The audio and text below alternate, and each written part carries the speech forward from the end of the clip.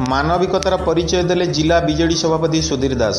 ରାୟଗଡ଼ା ଜିଲ୍ଲା ଅନ୍ତର୍ଗତ ରଫାଗଣା ଛକ ନିକଟରେ ଏକ ମର୍ମନ୍ତୁଦ ସଡ଼କ ଦୁର୍ଘଟଣା ଘଟିଯାଇଥିବା ବେଳେ ଦୁଇ ମୋଟର ସାଇକେଲ ମୁହାଁମୁହିଁ ଧକ୍କା ହେବା ଦ୍ୱାରା ଜଣଙ୍କର ଘଟଣାସ୍ଥଳରେ ମୃତ୍ୟୁ ଘଟିଛି।